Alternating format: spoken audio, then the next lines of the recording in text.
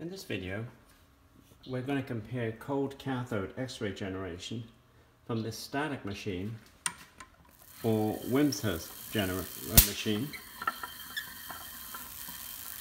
with this high-powered AC flyback driver that I put together. This one can generate very high currents and very high voltages, around 40 kilovolts. This one can generate 250,000 volts, but with very low microamp current. So we're going to compare which one produces the most X-rays.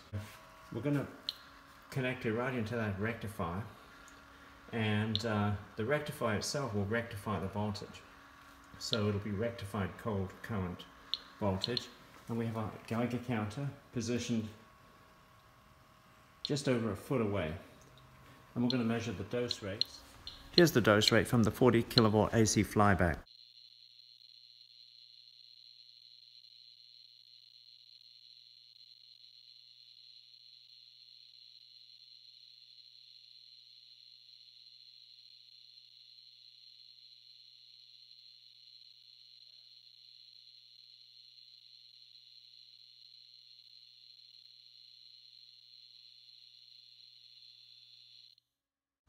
So as you can see, you get about up to 10 milliamps per hour. So that's not a very high dose rate, but high enough. Now here's the dose rate from the 250 kilovolt static machine.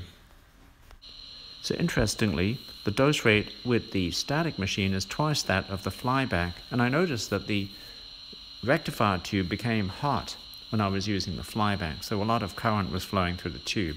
But anyway, thought you'd find that interesting. Please check back for more videos.